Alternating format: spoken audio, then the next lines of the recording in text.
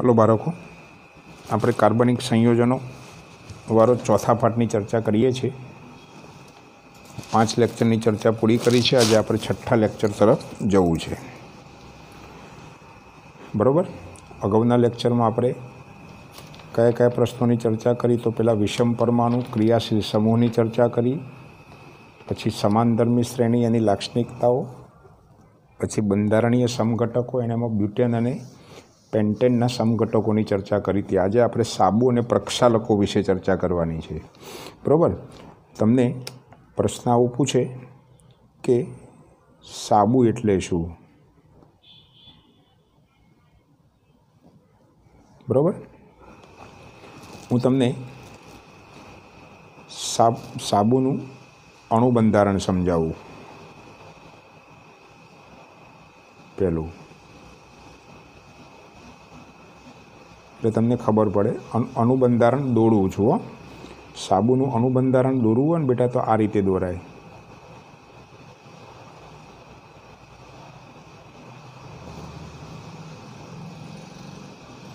Clear અહીં આપણે આમ ગોળ રાઉન્ડ દોરીશું. આ જે છે ને બેટા, એ ધ્રુવીય શીર્ષ છે.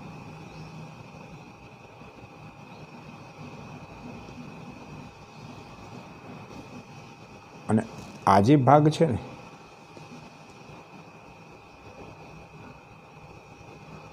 એ અધ્રુવીય પૂંછડી છે.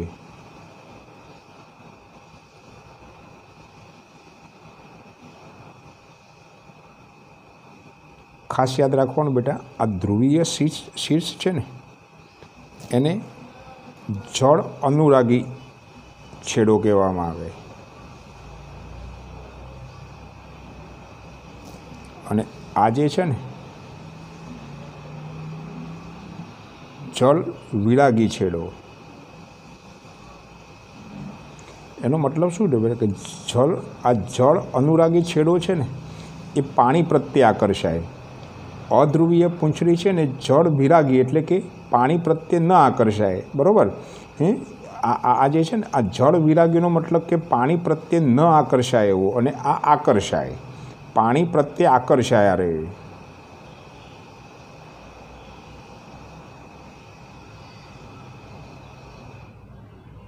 અને આ પાણી પ્રત્યે ન આકર્ષાય. ક્લિયર એનો મતલબ શું થયો બેટા? કે આ જે છે ને, એ લાંબી શૃંખલાયુક્ત કાર્બોક્સિલિક એસિડ કાર્બોક્સિલિક એસિડ એટલે કે ફેટી એસિડ કહેવાય, બરાબર? એનો સોડિયમ અથવા તો પોટેશિયમ ક્ષાર એને સાબુ કહેવાય, બરાબર? તો સાબુ એટલે શું? આવો જો પ્રશ્ન પૂછે તો આપણે લખવાનું કે સાબુએ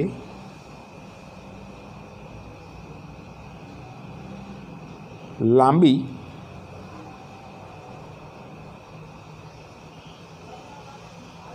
શૃંખલાયુક્ત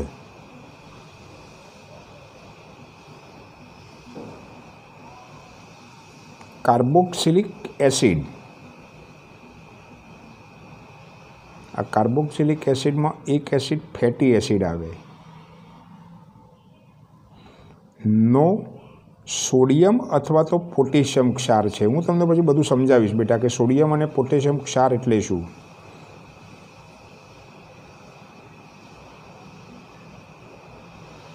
સાબુ શું છે એવો પ્રશ્ન પૂછે તો આપણે જવાબ એનો એ રીતે આપીશું કે સાબુ એ લાંબી શૃંખલાયુક્ત કાર્બોક્સિલિક એસિડનો સોડિયમ અને પોટેશિયમ ક્ષાર છે.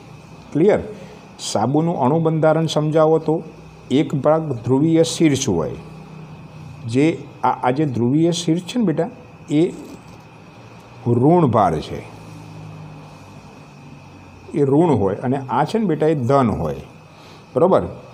ક્લિયર તો ધ્રુવીય શીર્ષ છે ને બેટા, એ હંમેશા જલ અનુરાગી શીર્ષ. જલ અનુરાગી છેડા તરીકે ઓળખાય. બરાબર? જેને ધ્રુવીય શીર્ષ કહેવામાં આવે. જ્યારે અધ્રુવીય પૂંછડી છે ને બેટા, એ લાંબી હાઇડ્રોકાર્બન શૃંખલા. અહીં બેટા CS two CS two CS ટુના અણુઓ હોય.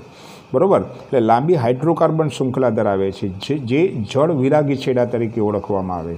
સાબુ એટલે શું? અને સાબુનું અણુબંધારણ સમજાવો. તો આવી આકૃતિ દોરીને ધ્રુવીય શીર્ષ અને અધ્રુવીય પૂંછડી વિશે એક એક વાક્ય આપણે લખી દેવાનું છે. ક્લિયર આટલી વાત લખ્યા પછી હવે આપણે બેટા શું કરવું છે? કે સાબુ અને ડિટર્જન્ટનો ક્રિયાશીલ સમૂહ લખવાના છે. તમને પરીક્ષામાં પૂછે કે સાબુનો ક્રિયાશીલ સમૂહ અને અણુ સમજાવવું બરોબર યાદ રાખજો બેટા સાબુનો ક્રિયાશીલ સમૂહ છે ને, યાદ રાખજો બેટા C double O N A છે. આને સોડિયમ કાર્બોક્સિલિક કહેવાય. ફરીવાર, આનું નામ શું છે બેટા? સોડિયમ કાર્બોક્સિલેટ કહેવાય.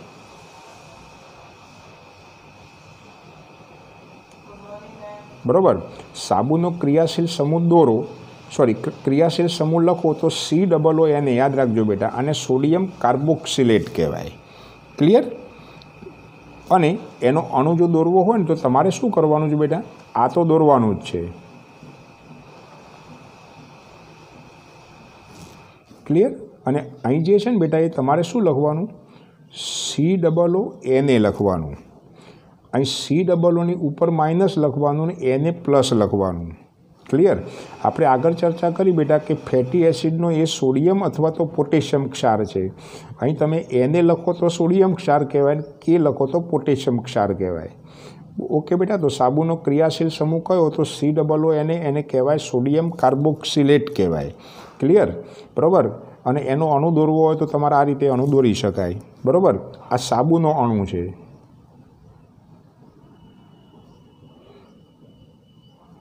હવે આમાં બીજો પેટા પ્રશ્ન તમને આ રીતે પૂછે બેટા, કે ડિટર્જન્ટનો ક્રિયાશીલ સમૂહ જણાવો. પ્રક્ષાલકો બે હોય બેટા. પ્રક્ષાલકો કોને કહેવાય હું તમને સમજાવું પછી. ડિટર્જન્ટ નો ક્રિયાશીલ સમૂહ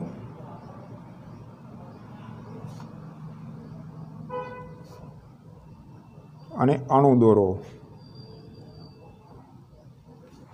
ચલો બેટા, ધ્યાન આપજો. આનો ડિટર્જન્ટનો ક્રિયાશીલ સમૂહ છે ને, એને એસો થ્રી એને કહેવાય. આને સોડિયમ સલ્ફોનેટ કહેવાય. તમે જોયું બેટા, જ્યારે ક્રિયાશીલ સમૂહ લખો ને, ત્યારે ઉપર માઇનસ અને પ્લસ નથી લખવામાં આવતું. સોડિયમ સલ્ફોનેટ કહેવાય. ચલો, એનો અણુ દોરવો હોય તો સાબુના અણુ જેવો જ. ફરક માત્ર આટલો કે અહીં તમારે શું લખવાનું છે બેટા? તો એસો થ્રી એને લખવાનું, અહીં માઇનસ અને અહીં પ્લસ લખવાનું. બરાબર? તો આ કોનો અણુ થયો? ડિટર્જન્ટનો અણુ થયો.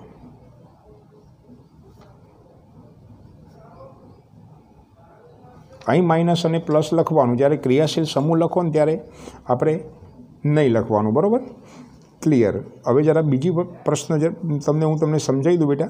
પ્રક્ષાલકો કોને કહેવાય? તો પ્રક્ષાલકો કોને કહેવાય બેટા? કે કોઈપણ સપાટી પર ચોટેલા મેલ અથવા તો તૈલી ડાઘ ને દૂર કરવા માટે વપરાતા પદાર્થો. ફરીવાર સપાટી પર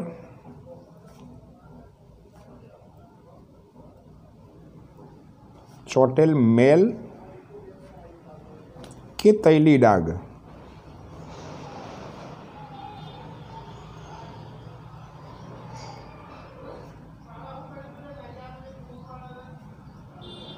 ને દૂર કરવા માટે વપરાતા પદાર્થો.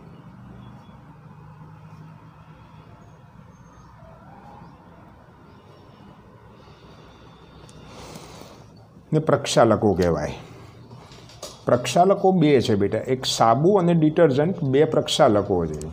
બરાબર? તો તમને પ્રશ્ન પૂછે કે પ્રક્ષાલકો એટલે શું? પ્રક્ષાલકો જણાવો. તો આપણે સાબુ અને ડિટર્જન્ટ.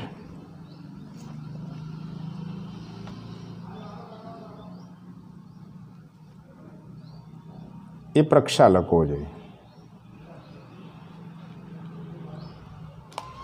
ક્લિયર તો આ બીજો પ્રક્ષેપ પ્રક્ષાલકો એટલે શું અને પ્રક્ષાલકો જણાવો? તો વસ્તુ અથવા તો કોઈપણ સપાટી પર. ચોટેલ મેલ અથવા તૈલી ડાઘને દૂર કરવા માટે વપરાતા પદાર્થો. તો સાબુ અને ડિટર્જન્ટ બે પ્રક્ષાલકો છે. ક્લિયર હવે જે આપણે પ્રશ્ન ચર્ચા કરવી છે બેટા, એ ખૂબ જ અને ખૂબ જ અગત્યના પ્રશ્નની ચર્ચા કરવાની છે. બરાબર? અને એ પ્રશ્ન છે ને બેટા, એ આવું પૂછે કે સાબુની સફાઈ પ્રક્રિયાની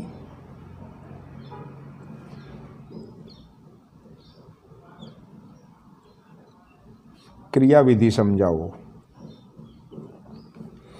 આ પ્રશ્ન કેટલી રીતે પૂછે બેટા? અથવા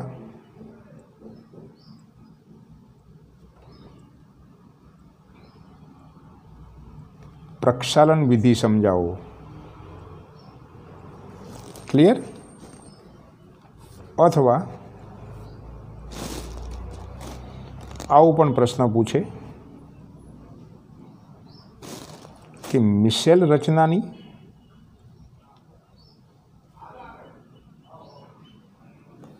ક્રિયાવિધિ સમજાવો. ક્લિયર હવે તમારે અહીં બરોબર યાદ રાખવાનું છે બેટા. આગળ મેં તમને સાબુ અને ડિટર્જન્ટ બંનેના અણુઓ દોરીને બતાવ્યા છે. બરાબર? સાબુનો અણુ છે ને, એ ફેટી એસિડનો સોડિયમ અથવા તો પોટેશિયમ ક્ષાર છે. ક્લિયર? આપણે એની પણ ચર્ચા કરી કે સાબુના અણુ છે ને, એના બંને છેડા અલગ અલગ ગુણધર્મ ધરાવે. એક છેડો જલ અનુરાગી છે જલ અનુરાગી એટલે કે પાણી સાથે ક્રિયા કરે. જ્યારે બીજો છેડો છે ને બેટા, એ જલ વિરાગી છે, જે હાઇડ્રોકાર્બન સાથે ક્રિયા કરે. બરાબર? અહીં બરોબર યાદ રાખો બેટા.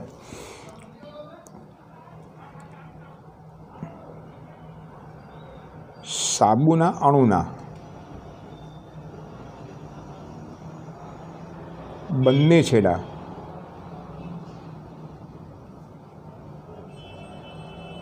અલગ ગુણધર્મ ધરાવે છે.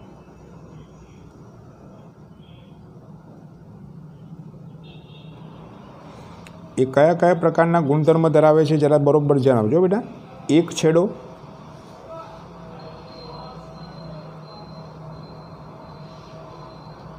જલ અનુરાગી છે.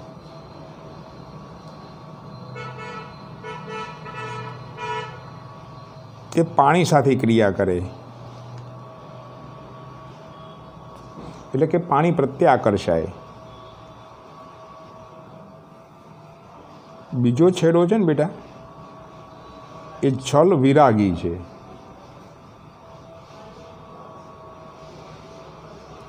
સાબુ અને ડિટર્જન્ટ બંનેમાં બે પ્રકારના એક છેડો બેટા છે ને, એ અધ્રુવીય પૂંછડી હોય અને બીજો ધ્રુવીય શીર્ષ હોય. ક્લિયર તો એક છેડો છે ને એ પાણી પ્રત્યે આકર્ષાય અને બીજો છેડો છે ને બેટા એ હાઇડ્રોકાર્બન શૃંખલા સાથે આકર્ષાય. બરાબર? એટલે કે બીજો છે ને બેટા એ મેલ પ્રત્યે આકર્ષાય. બહુ સાદી ભાષામાં કહીએ ને તો બેટા મેલ પ્રત્યે પણ તમારે આવું લખવાનું કે જે હાઇડ્રોકાર્બન સાથે આકર્ષાય, ક્રિયા કરે. બરાબર? હવે આમાં શું થશે બેટા કે સાબુના જે બે છેડાઓ છે, એમાં સાબુની જે જલ વિરાગી છેડો છે ને એ પાણીમાં દ્રાવ્ય નહીં થાય. ક્લિયર અને આ જે જલ અનુરાગી છેડો છે ને બેટા, એ હાઇડ્રોકાર્બનમાં દ્રાવ્ય નહીં થાય. બરાબર? બે વસ્તુ છે. આ પાણી જો બેટા, જલ અનુરાગી છેડો પાણી સાથે આકર્ષાય જલ વિરાગી છેડો હાઇડ્રોકાર્બન સાથે આકર્ષાય એનો મતલબ શું થયો બેટા? કે જ્યારે જલ વિરાગી છેડો છે ને એ પાણી પ્રત્યે નહીં આકર્ષાય ક્લિયર જ્યારે જલ અનુરાગી છેડો છે ને એ હાઇડ્રોકાર્બન શૃંખલા સાથે નહીં આકર્ષાય હવે શું થશે બેટા? અહીં બરાબર જુઓ કે જ્યારે હું તમને સમજાવું, આપણે જે કરીએ છીએ ને બેટા એ આ પ્રકારે કપડાં ધોતા હોઈએ છીએ. આપણે શું કરીએ? હું તમને જરા સમજાવું. આપણે આવી ડોલ લઈએ અને ડોલમાં પાણી લઈને પછી એમાં ડિટર્જન્ટ પાવડર નાખીને પછી એમાં આપણે ફીણ ઉત્પન્ન કરીએ છીએ પછી એમાં પહેલાં કપડાં બોરીએ છીએ. બરાબર? હવે ડિટર્જન્ટ છે ને એના એના ભાગમાં સોરી એમાં બે અણુઓ હોય. એક ધ્રુવીય શીર્ષ હોય ને બીજું?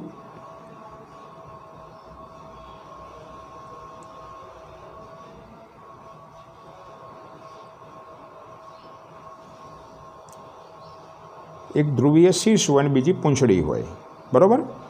તો આ પૂંછડી છે ને બેટા, એ જલ અનુરાગી છે. એટલે કે પાણી પ્રત્યે આકર્ષાય ઋણ ભાગ છે. અને આ જે ભાગ છે ને બેટા, એ પેલા હાઇડ્રોકાર્બન સાથે હાઇડ્રોકાર્બન એટલે કે પેલા મેલ સાથે આકર્ષાય. ક્લિયર હવે શું થશે બેટા?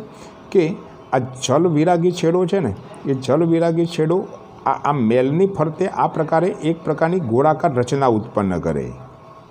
જે જગ્યાએ મેલ હોય ને મેલની ફરતે આવી ગોળાકાર રચના ઉત્પન્ન કરે.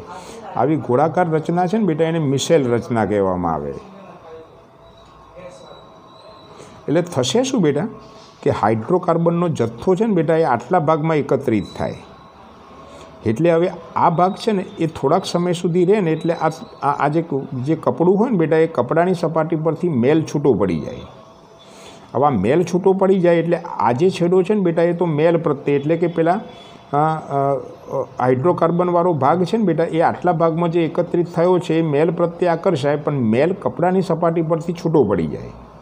હવે શું થાય બેટા, કે થોડીવાર પછી તમે કપડું બહાર રાખો ને, એટલે આ પેલો જે આ આ આ ભાગ છે ને, આ છેડો, એ પેલા મેલ પ્રત્યે આકર્ષાય એટલે મેલ છે ને બેટા, એ પાણીમાં જ રહી જાય. કપડું તમે બહાર કાઢી નાખો એટલે કપડાની સપાટી સ્વચ્છ થઈ જાય. કેમ? કારણ કે કપડાની સપાટી પરથી પેલો મેલ દૂર થઈ ગયો છે. ક્લિયર એટલે કપડાની સપાટી પરથી મેલ દૂર થઈ જાય એટલે કપડું સ્વચ્છ થાય અને આ પાણું છે ને બેટા, એ ડોળું થઈ જાય.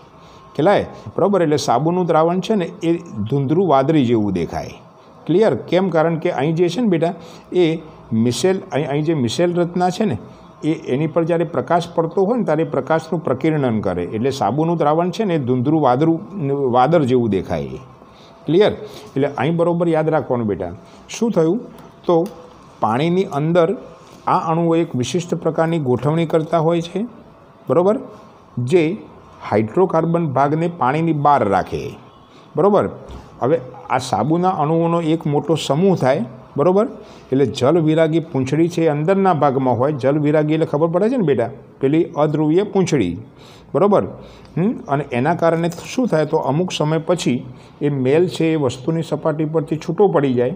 બરાબર? એટલે એ જે કપડાને જો તમે બહાર કાઢો, તો એ જે મેલવાળો ભાગ છે એ પાણી સાથે જ, પાણીની અંદર જ રહે. બરાબર? જ્યારે પેલું સપાટી છે ને સપાટી સ્વચ્છ થાય. બરાબર? અને પાણી છે ને એ ડોળું થઈ જાય. ક્લિયર? આ રીતે કોઈપણ કપડાની સફાઈ થાય. હવે તમારે જે મિસેલ રચના છે ને બેટા, એ જે દોરવાની છે ને, એ આવી નથી દોરવાની. આ તો આપણે જે ઘરમાં ક્રિયા કરીએ છીએ ને, એ છે જે તમારે દોરવાની છે ને મિસેલ રચના એ આ પ્રકારે દોરવાની છે. અહીં તમારે શું કરવાનું બેટા? વચ્ચે આવો તૈલી ડાઘ દોરવાનો. પછી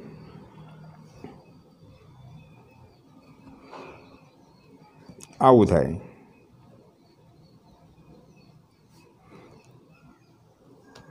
ક્લિયર અહીં તમારે જે ઉપર લખવાનું છે ને બેટા, એ ઉપર તમારે આવા ગોળ રાઉન્ડ દોર દેવાના.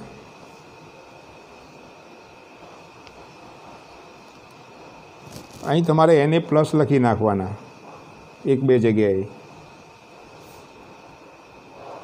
બધી જગ્યાએ લખો તો પણ ચાલે. ક્લિયર અને આ છે ને બેટા એ તેલનું ટીપું છે એવું લખી નાખવાનું. ક્લિયર તો આ રીતે આખી મિસેલ રચના તમારે દોરવાની છે. આ જે રચના છે બેટા, એ મિસેલ રચના છે.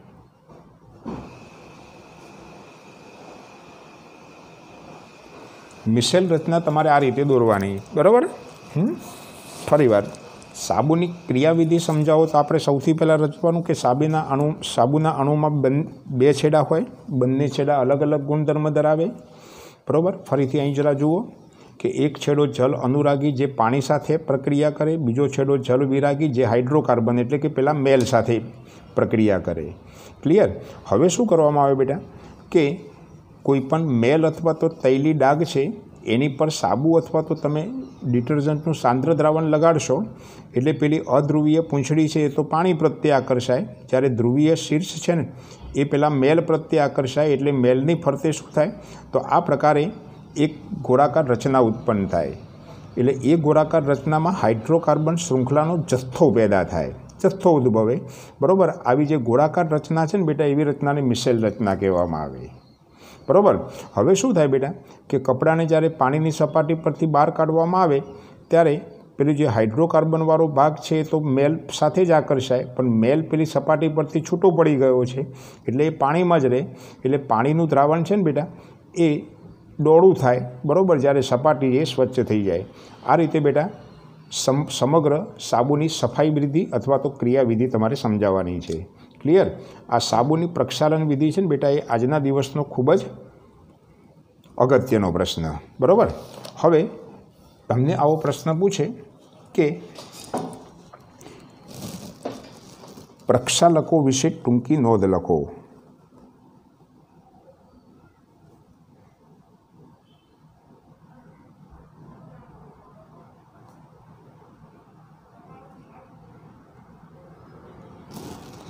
બરાબર? ચલો બેટા, તો પ્રક્ષાલકોની પહેલી તો વ્યાખ્યા લખવાની કે વસ્તુની સપાટી પર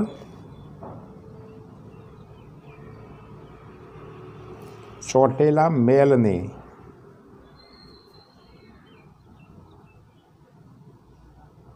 દૂર કરવા માટે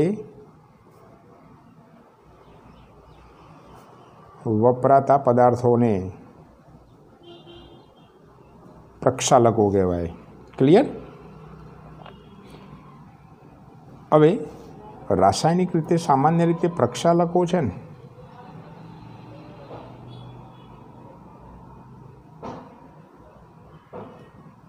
એ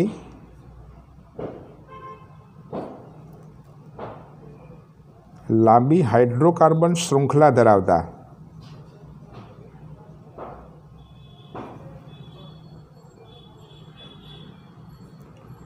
સોડિયમ કે પોટેશિયમ ક્ષાર છે?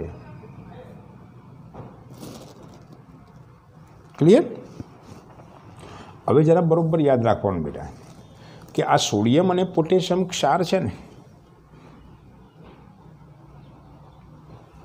આ સોડિયમ ક્ષાર છે ને બેટા, બરાબર?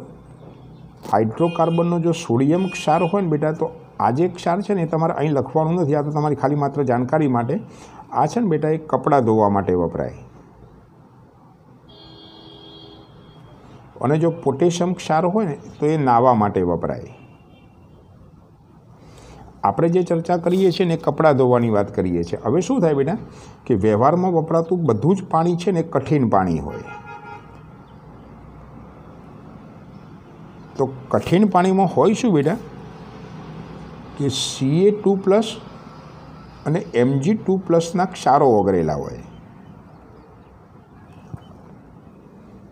સાથે સાબુ છે ને બેટા?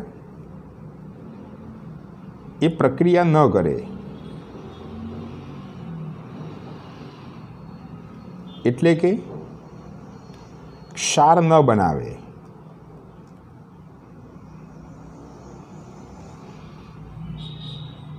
એટલે આ જે ક્ષારો છે ને, એ ક્ષારો પાણીમાં જ રહે.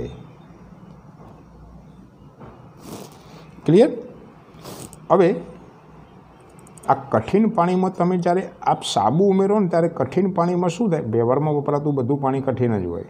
હવે કઠિન પાણીમાં કેલ્શિયમ અને મેગ્નેશિયમના ક્ષારો સાથે પેલો સોડિયમ અથવા તો પોટેશિયમ ક્ષાર હોય ને, પ્રક્ષાલકો એ કદી પ્રક્રિયા ન કરે એટલે પાણીમાં જ બનાવે. સોરી એ કોઈ પણ પ્રકારનો ક્ષાર ન બનાવે એટલે એ ક્ષારો પાણીમાં જ રહે. એટલે આવા સંજોગોમાં શું થાય બેટા? કે પ્રક્ષાલકો છે ને, એ સરળતાથી મેલ દૂર કરી દે. ખ્યાલ અને સપાટી સ્વચ્છ કરે.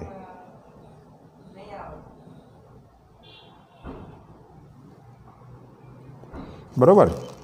ક્લિયર તેથી શું થાય? ડિટર્જન્ટ અથવા તો નો વ્યય ઓછો થાય.